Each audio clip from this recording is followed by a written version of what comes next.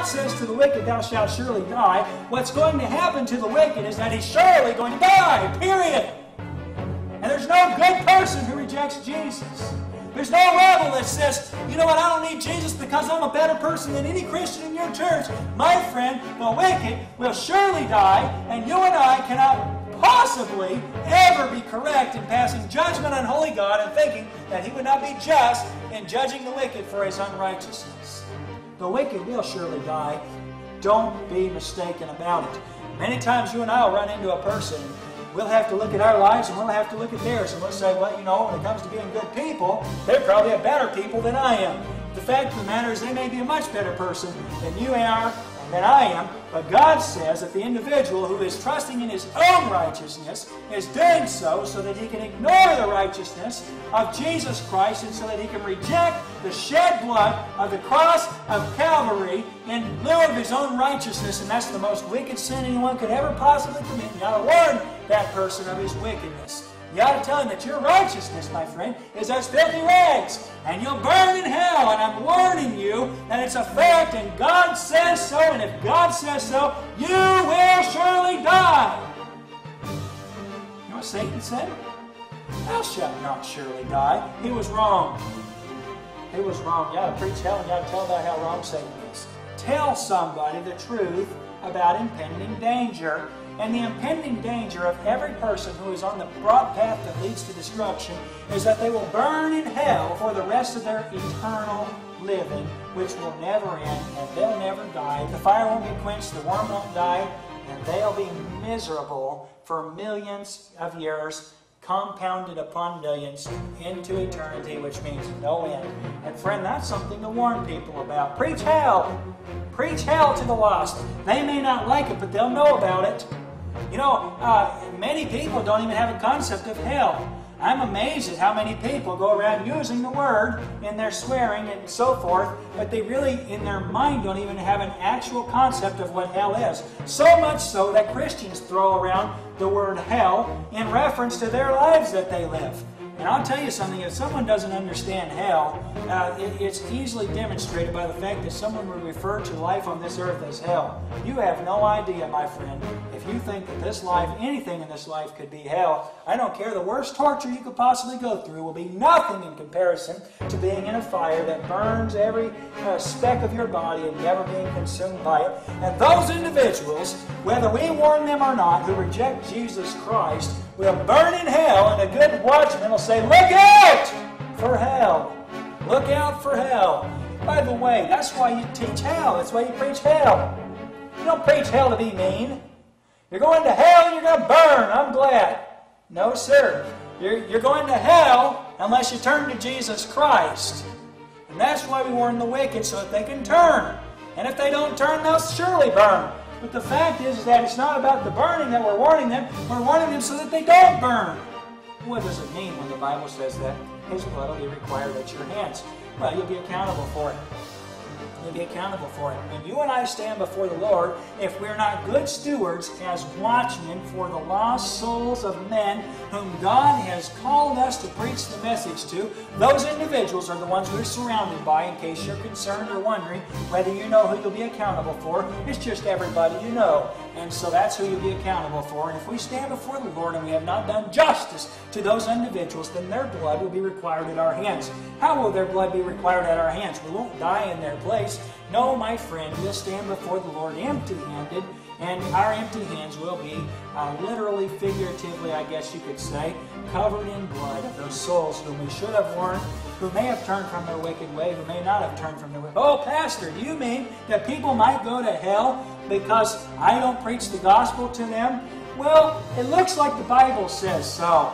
And so um, I think we ought to preach the gospel with a little more urgency than to just believe that God appoints people to go to heaven. And so our being a good watchman or a lousy one doesn't matter at all just because God's going to force someone into heaven or force someone into hell because they don't have a free will. Friend, let me get this straight to you from the Bible so you understand it. God in heaven is sovereign, and in His sovereignty, He gives you the free will to be a good or a lousy watchman, and He gives men the free will to accept or to reject Jesus, and it's important for the way we live.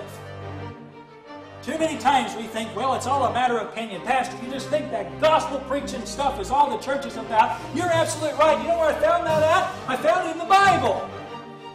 God cares about souls, and He wants us to preach the gospel to the lost. He wants people to turn from it. And if you don't preach the gospel, I believe men will go to hell, and I found that in the Bible. So I don't know if you like it or not, but there it is. You tell me what it means if it doesn't mean what it says. And then verse 19, the Bible says, Yet if thou warn the wicked, and he turned not from his wickedness, nor from his wicked way, he shall die in his iniquity. How is he going to die? In his iniquity. You know what that means? It means with his own unrighteousness and without the righteousness of Jesus Christ but thou hast delivered thy soul. So you preach the gospel, and your hands will be clean. You know, there's a relief in giving the gospel.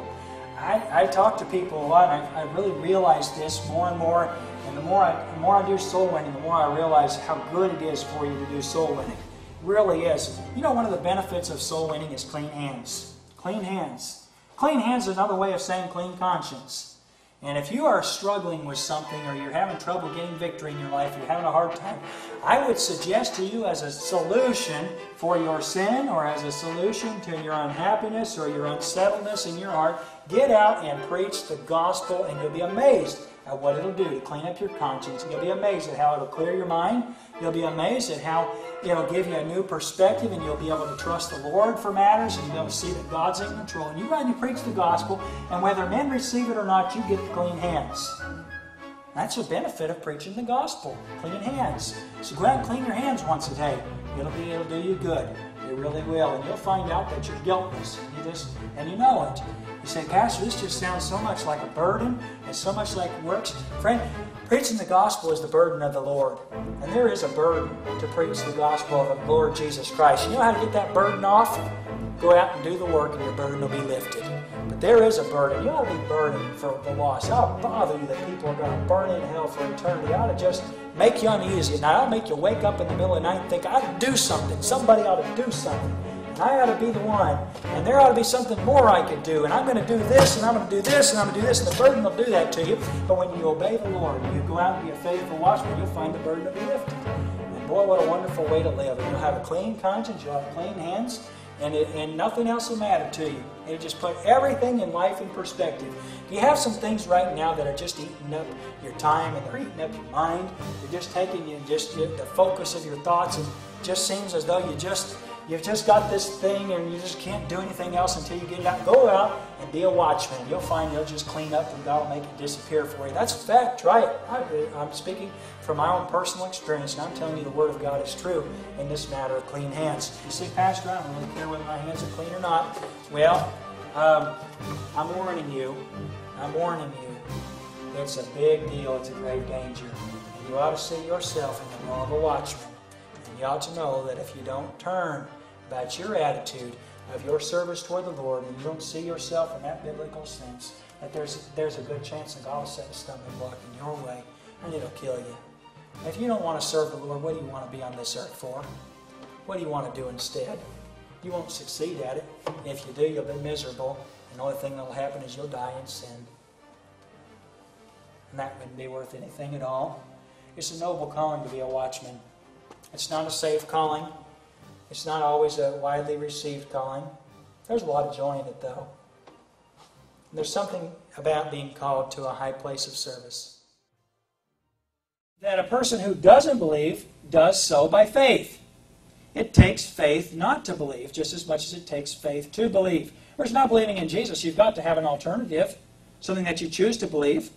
And the Romans chapter 1, Romans chapter 2 says, teaches very plainly that every person in the world needs to be saved, and that the difference between people who get saved and people who do not get saved is unbelief. In other words, what do they do with Jesus? The object is Jesus, and the thing that makes a difference between somebody who is damned to hell and judged by holy God and the person who is delivered from judgment and has the righteousness of God and of Christ is the matter of faith. It's a matter of belief or unbelief. Pastor, the problem with faith is that either you got it or you ain't.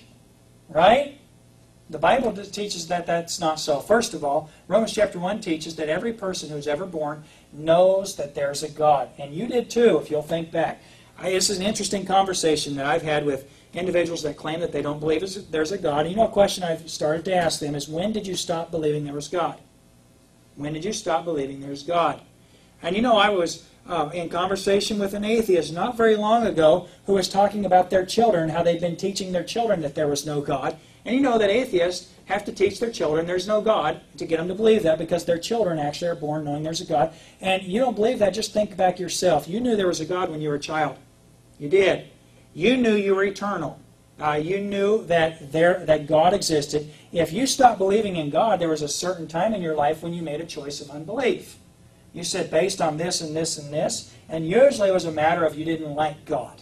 Usually it was a matter of well, you know, that kind of God. You ever heard somebody say that? Your God or that kind of God? If God is good, then why does He allow sin?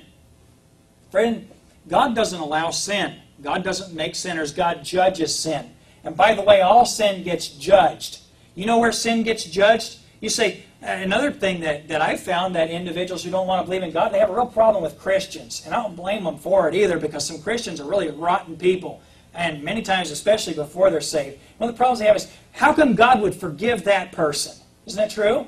Remember somebody doesn't like God because of the people that he saved? And, so, and I just want to remind you, God only saves lousy people He doesn't save good people. And that's the kind of person he saved when he saved Ryan Price. I got saved at a young age and had the opportunity in my life. I shouldn't say opportunity, everybody has opportunity to do wrong, but I didn't have the, the track record of having built up a lot of things that uh, were, in, in our minds, terrible sin. But I was wicked when I was a child. My parents didn't have to sit down and teach me to lie. I was a born natural good liar. Uh, I, was, uh, I was a little thief when I was a three and four year old. And I was just a wicked little kid, and people think it's cute. Sin's not cute, even when it's a little kid that commits it. We can laugh at it, but the fact is, is that it, it made me the enemy of God, and God judged that sin in the person of Jesus. And the difference between somebody who gets saved and somebody who doesn't is what they do with their knowledge of God. So uh, I was talking about how that a, a person who pretends to be a person who doesn't believe that there's a God would ask the question, who, um, or you know, their, their argument would be, hey, if God's good, you know, then why is there sin? And then the opposite side of that question, um, if God's good, then why doesn't He judge sin? Isn't it true? Most people that hate God are mad at God because of something terrible somebody did. Isn't it true? And usually somebody that's a Christian. Somebody says they believe in God. By the way, not everybody says they're a Christian Yes. Not everybody that says that they're a follower of God. Because they don't follow this book. They believe that salvation is something other than the Bible teaches. They're not saved. Either saved God's way or not saved at all. And so, not every person that says, even the Bible says, not every person professing Lord, Lord. And it's true. And so, the answer to that is simply this. First of all, doesn't just because they say that's what they are, and just and many times there are individuals in the name of religion, in the name of Christ, that commit terrible, atrocious, wicked sin. And I'll just tell you something. God's not okay with it and he'll judge it. So your argument about God's not good because some person is wicked and God hasn't judged them, um, every knee is going to bow, and every sin, every sin is going to be either paid for in the blood of Jesus Christ or will damn the person to hell for eternity. And if that's not judgment, I don't know what is. And if Jesus uh, didn't have the right to die for our sins, and if God didn't have the right to forgive sin because of Jesus, I don't know what reasonably could be a way for us to be reconciled to God. How could a person, uh, how could you ever accuse God of not being good when Christ died for your sin? God loves you, my friend, so much that He gave Jesus, uh, that He gave His Son, who had never sinned, as a substitute for you. And as good as you think you are, I'm telling you something. You and I, neither of us compares to Jesus. And God substituted the righteousness of Jesus for our sin. And so God's good. All right, I spent more time on that than, than uh, I intended to, but if you don't have that, if you don't lay the background for salvation, you can't teach it. The book of Romans talks about our salvation. Chapters 1 and 2 says, what about, um, what about people that don't know?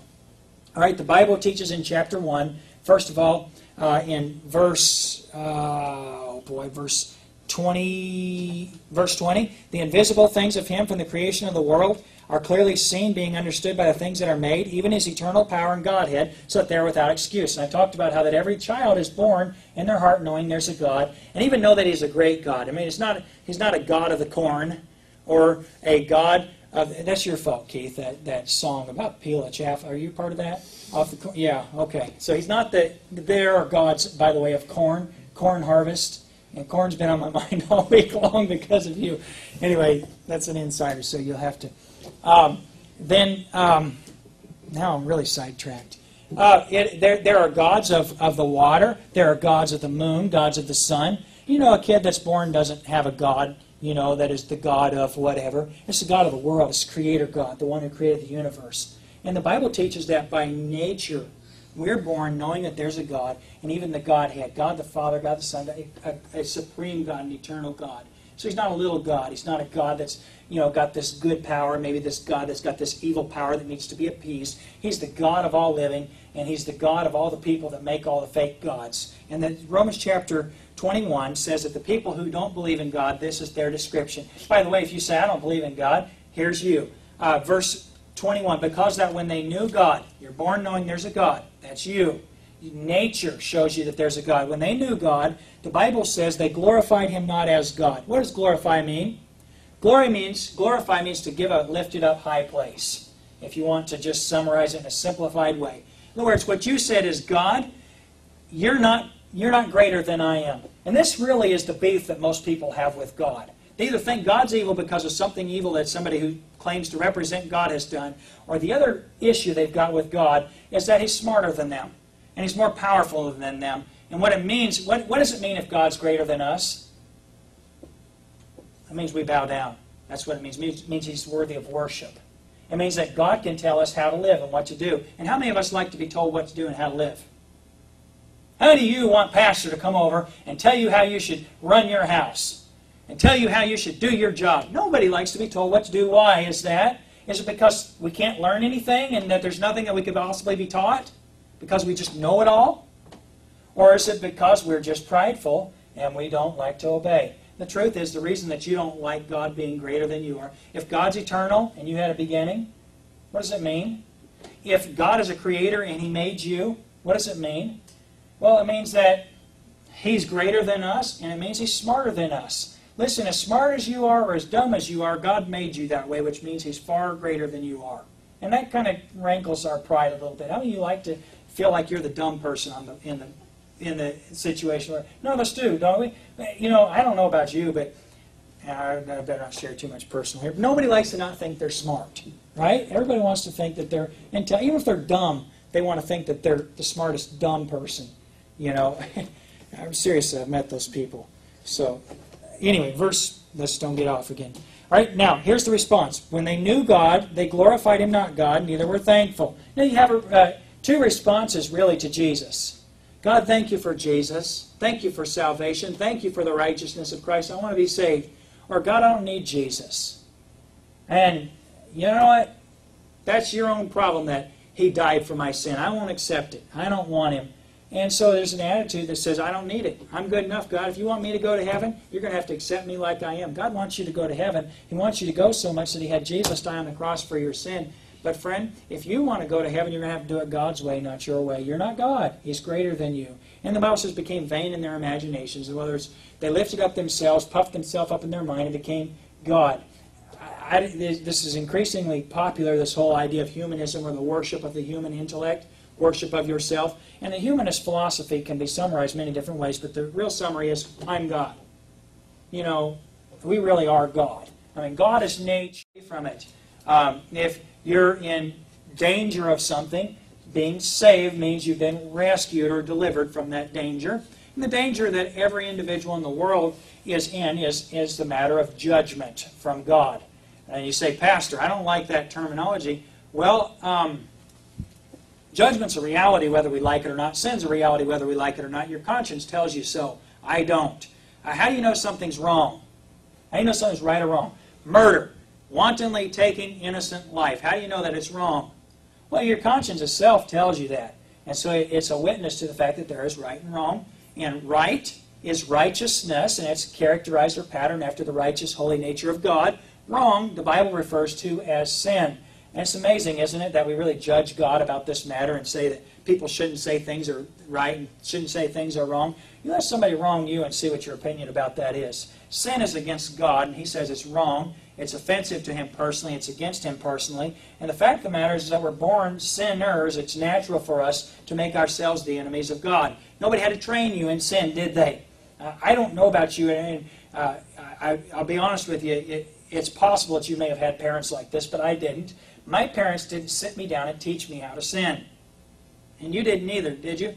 Uh, I uh, saw something that was posted uh, the other day by a, a friend of mine on the internet, and they said something to the effect of they had a saying or a statement that they would say, and they said it, and then their child repeated it. A three year old child repeated it, and their response was, That sounded terrible coming from a three year old. And a three year old shouldn't say what I just said. And so then, if a three year old shouldn't say it, then that person's response was, I probably shouldn't say it either. And it's amazing how when somebody else does the same thing that you do, particularly your children, you recognize that it's wrong. Well, it's a matter of a conscience, isn't it? Hey, how many of you want a foul mouth three year old? Somebody cursing, and this wasn't something foul, it was just something like, you know, I didn't really think that was that bad. But when I heard my three year old say it, I just thought, man, three year old shouldn't say that. And so I shouldn't either. And there's some application there, isn't there? Uh, it, it's, isn't it amazing that we have ratings for things like child rating and adult rating? And I would just submit to you if it's bad for a kid, it's bad for you too. And uh, it's bad because it's sin. And so the reason we're talking about bad is because that's our way of using the terminology, but the Bible calls it sin. And the problem with sin is that it's against God. God hates it, it hates Him, and it's an attack against His holy nature. Sin is against God. Well, go to Romans chapter 1, and we'll, uh, we start in chapter 16. Just look back just a little bit, and we'll go over a review of the book of Romans. The first thing that the book of Romans teaches regarding our salvation is that everybody in the world needs Jesus. Everyone in the world needs to be saved. And there are a lot of questions that people have about that. And the question is, what about people that don't come from a uh, quote unquote Christian worldview or background? They've never been exposed to Christianity. Romans chapter 1 answers that question very plainly. Uh, first of all, it says in uh, verse 16 of Romans 1 I'm not ashamed of the gospel of Christ, for it is the power of God. Power here is a word that indicates supernatural ability. And the gospel is the good news about the fact that you and I are born in sin, but Jesus Christ became or died for our sin, and that if we ask God to save us because of the substitutionary work, in other words, substitution was this Jesus had our sin placed on him. And when we ask God to save us, we have the righteousness of Jesus placed on us. So if you ask God to save you because of the work of Jesus on the cross, He took the penalty and the punishment for sin, and we have the privilege simply by asking God to save us of taking the righteousness of Jesus and having that put on us. Isn't it amazing that God could look at you and I and see us as being absolutely without sin? That is indeed the reality, the fact of the way that God sees believers in Jesus, people who have been saved or delivered from judgment for their sin. And so uh, I want to mention something else regarding judgment. I started to talk about it just a minute ago, and I said, you know, a lot of people don't like the word judgment. Why does God get the right to judge me? And do you know what the answer to that question is that I've been impressed about from the book of Romans? He has the right to judge you because he judged himself. Words, here's Jesus, the perfect Son of God who never sinned, who lived on this earth with the temptations that you and I had, who surrendered his power as God. Can God be killed? No. Can God be limited like a man? And the answer is no. And Jesus, when he had his earthly ministry on earth, surrendered his power as God and worked in the same power that you and I are capable of having, the power of his Holy Spirit, and lived a whole life and never sinned. And then voluntarily gave up his right to live. He died and for in the substitution for our sin. And so when he died on the cross, he was dead for three days because of sin, and he was resurrected after three days, walked on this earth for over 40 days, was seen of thousands of individuals at the resurrected Christ, and then with the, the disciples of Jesus, uh, over, uh, over uh, there's literally hundreds of them, watched him ascend up into heaven. Now, that's a historical fact. Now, Jesus became sin for us, the substitution. Now, and the question was, why does God have the right to judge me because of my sin? In other words, I'm bad, I'm a sinner, and I just don't, you know, I just think God ought to just forgive me, or He ought to ignore my sin. And why does He get the right to judge me? And I'll tell you something. Gets the right to judge you, first of all, because you can be sinless because of Jesus. In other words, a person has the opportunity to have the righteousness of Jesus and rejects it, deserves judgment. Isn't that true? If you're, if you're given a chance to be righteous and you don't receive it, do you deserve judgment? The answer is yes. You didn't have to, and so you deserve the consequences. Secondly, he has the right to judge sin because he judged himself. You ever have somebody ask you to do something they wouldn't do themselves? It's not really fair, is it? When somebody says, Would you do this? You think the only reason you're asking me to do that is because you won't do it. How do you like being the underdog at work? The employee that is the guy that uh, everybody else has higher rank than. And so they'll ask you to do something, but they wouldn't do it. So why don't you do it? Okay, no way I'd do that. Uh, you ever been dared to do something? A dare is always something that somebody wouldn't do themselves and tries to get you to do. Remember that when you're dared to do something. Person daring you, if they thought it were possible or they thought it were a good idea, they'd do it themselves and they wouldn't ask you to it. But now when somebody else has done something already themselves and it's either been good for them or it has, has accomplished the desired purpose of it, it's not a bad thing for them to ask you to do it, is it? You know, God, because sin is against Him, has the right to judge sin. But He's not asking you, or He's not doing something to you that He hasn't done to Himself. He judged His righteous Son. And I don't know if you can imagine with me having a child who's never sinned, who's always pleased you, who's always done good, being having their good substituted for the most vile, wicked, evil in the world. And God did that to Jesus. He judged Jesus. And I just want to say, you've got no right to judge God about the judgment. You have no right to tell God Almighty that He doesn't have the right to judge. By the way, whether that's your opinion or not, He will judge. The Bible says there's going to come a time when every knee is going to bow and every tongue is going to confess Jesus Christ to the glory of God the Father. And let's make this more personal, if you will. If you don't mind this morning, I think it'll be helpful to us. Uh, you're here this morning and you say, Pastor, what about all the people that, that have never heard about Jesus? Is God going to judge them? Before we ever answer that question, which the Bible does answer in Romans chapter 1 and 2, how about answering the question for yourself? Have you ever heard about Jesus? In other words, that's not you. And so, first of all, it's none of your business. Your business is you know about Jesus you know about what God has done in the person of Jesus, and you don't fit in that category anyway. So you're telling God that He doesn't have the right to judge you because you've never heard doesn't apply, does it? And so let's deal with the matter on a personal level beginning. Okay, Romans chapter 1 and Romans chapter 2, God gives a universal call to repentance. What is repentance? Repentance is simply uh, not just a change of mind, it is, it is a change of attitude in the, in the context of our salvation is a, a repentance is turning from a choice of unbelief to a choice of belief. Now, I said a choice of unbelief. Do you know that anyone who believes does so by faith? It's true. You know, a person that says to a Christian, they say, you know what? Everything a Christian has to accept, they have to accept by faith. That's true. That's true. You say, Pastor, really? There's no evidence that Jesus died on the cross? There's no evidence that he's the Son of God? There's all kind of evidence for those things, but the bottom line is that when you make the choice to believe or not to believe, it's faith. It's faith. At some point, you have to accept that it's true and that the alternative truth is untrue, if you will. Now, you can do so, you can accept truth based upon facts, but the fact is, uh, and a little pun there, but the fact is, is that at a certain point, you're just going to have to believe. And that a person who doesn't believe does so by faith. It takes faith not to believe just as much as it takes faith to believe. And I want to say to you, Christian, that it's more than just your refusing to be right with God. It is your deciding to be subservient to sin instead of God. You'd rather have your sin and its destructive effects on you. You'd rather serve the devil who hates you and wants to destroy you than live for holy God.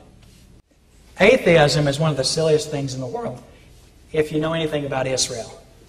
I mean, the fact that two million people lived in the wilderness for 40 years, it's not possible. There's no food and there's no water. Go check it out. And yet, for 40 years, God provided. Many of us believe a lie about God, and that is that He's not the God of all living. But if you study the Scripture, what you'll find out is that God is the God of all men. God is the judge of all men. All men will stand before God and they'll be judged by God for what they do with Christ. And that's true. It's always been true. He's the God of the just and He's the God of the unjust. He's the God of the believer, He's the God of the unbeliever. And you can't change that by believing or not believing in God. He's God. Friend, I want to say to you that God's desire is not to judge mankind. God's desire is to redeem all men to Himself. And He proved that in the person of His Son, Jesus. But you know, in spite of that truth, many men have the attitude of, well, if that's who God is, I don't want to know Him. If God, that's who God is, it's impossible to please Him. If that's who God is, then I'll never serve Him. This is not the God we want. God's revealed Himself to us in His Word, and He is who He says He is, not who we say He is. Many of us have defined God ourselves. Well, my God's a God of love. He, he's not a God of judgment. My friend, you don't understand love until you understand the fact that God judged His own Son in the place of us. And if anyone has the right to judge, isn't it the person who has taken the sins of the whole world on himself? I just don't believe that God would send people to hell. Friend, Jesus became the enemy of God because of our sin. You think that rejecting Jesus doesn't give God the right to send you to hell? God's a just and holy judge. And you can believe what you want about him, but that's not the truth. And what the truth is, is who God is. I want to tell you this morning that living for God's the most wonderful thing that could ever happen to you.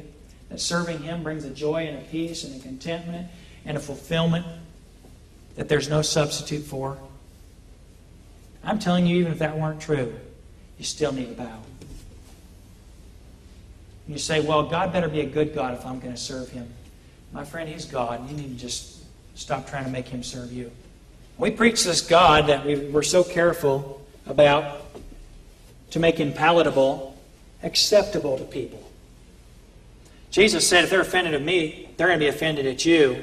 Well, when you pre- you need to quit preaching about hell so much and about judgment and tell people about the love of God. There ain't a single person in the world that didn't get saved because of judgment. No saved person. I'm telling you, just be real about it. When you got saved, you got saved because you needed to. Right?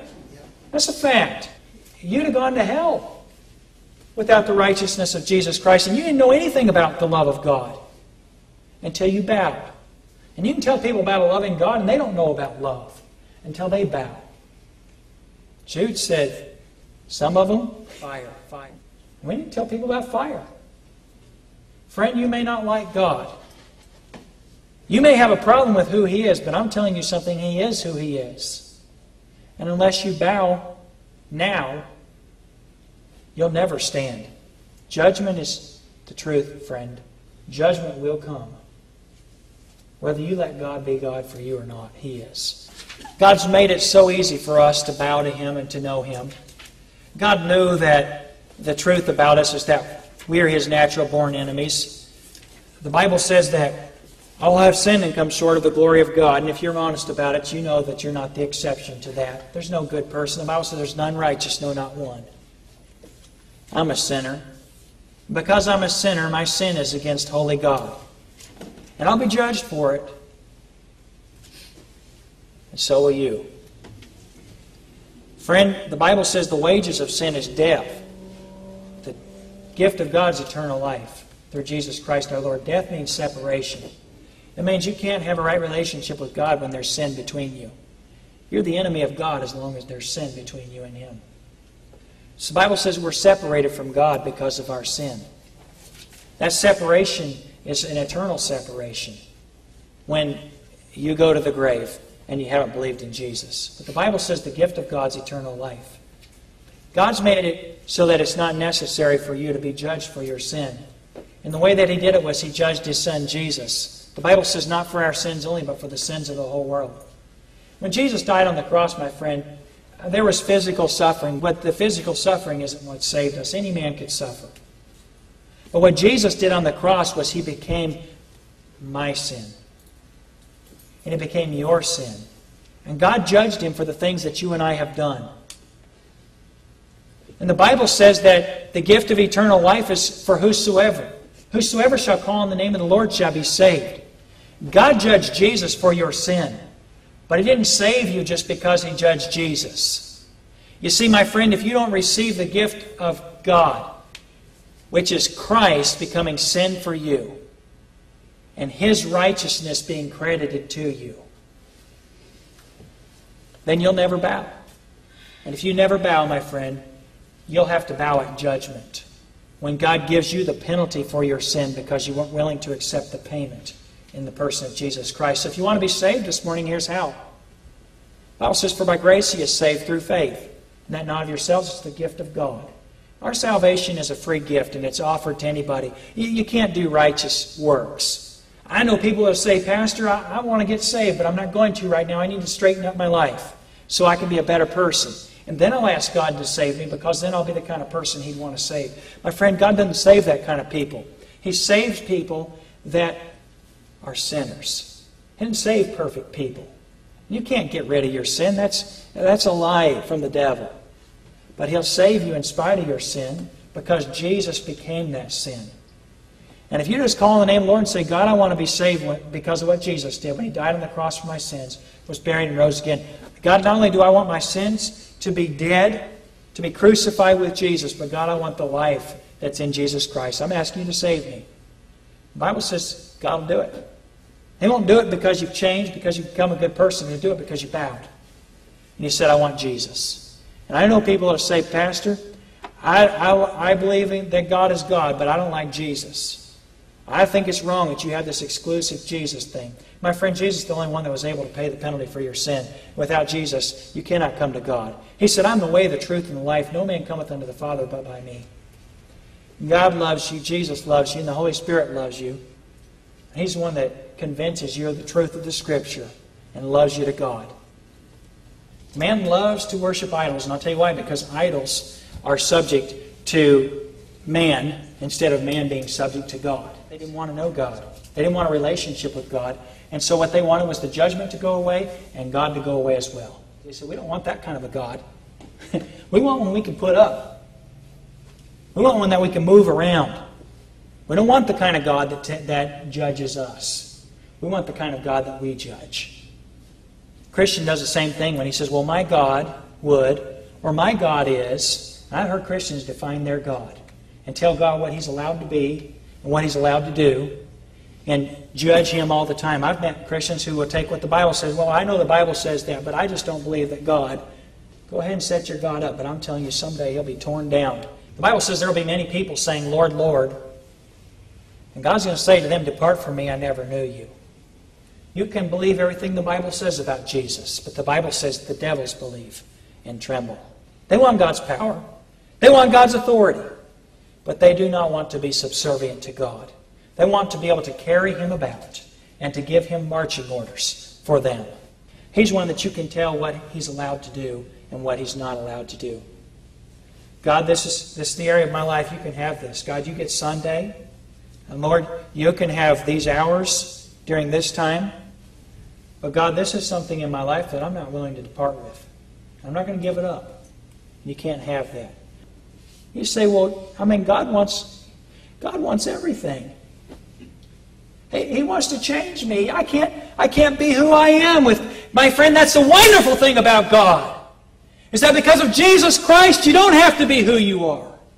See, you who you and I are is God's natural born enemy. And because of God, we're able to have the righteousness of Christ. And we're able to be free, free from sin.